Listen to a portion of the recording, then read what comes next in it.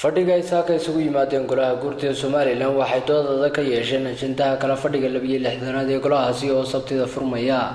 Fadhigani oo shir guddoominaya guddoomiyaha golaha guurtida somalilan saleebaan maxamuud aadan ayaa dood adag kadib waxa ay xildhibaanada golahaasi cod gacantaaga ku ansixiyeen. Ajendaha kala fadhiga labiyo lixdanaad ee golahaasi oo ay ku jirto muddo kordhin loo sameyn doono xukuumadda madaxweyne siilaanyo waxaana ugu horeynba halkaasi ka hadlay qaar ka mid a xildhibaanada golaha guurtida somalilan. Waxaana hadalladoodii ka mid ahaa. Raacaya xaaladaha taagan ee ku jira sidii mudanayaashii horeba ay yidhaaheen ayaan ku ayiday sababta oo ah iyadoo waa xaalad taagan oo la sugayo oo wakhtigeega leh oo la leeyahay maxaa soo bixi maxaa imani maxaa la filayaa xaaladdaasi waa xaalad taagan. Taa uun baan anigu ku ayiday mudanayaashii iga horreeyey. Bahalihii waxaan leeyahay kormeerkii aan soo samaynay ama hay'adihii garsoorka iyo cadaaladii aan la kulannay ama kuwa nabadgelyadaba waxaa ka soo baxay inaad eegteen mooyaane. Waa dhibaato badani ka taagan tahay dunuubta iminka dhacda iyo shuruucda lagu xukumaa isma waafaqsana waa shuruucdan waa shuruuc hore oo wakti hore la soo saaray. Tusaale ahaan waxa la leeyahay qofka lagu qabto khamriga. Boqol shilin iyo waxbuu sheegaya garaaxiisi baa lagu yidhi iyo wax noocaasu xeerkii hore xeerarka iminka lagu xukumaa tilmaamayaan iyo toban shilin wax lamida.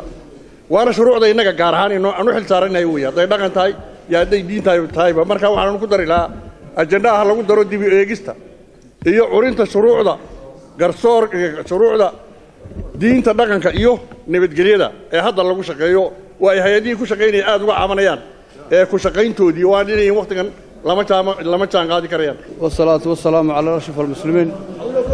Maanta waxaa de laynaga sugayaa waxa weeyaan ajenda maa waxaa laynaga sugayaa.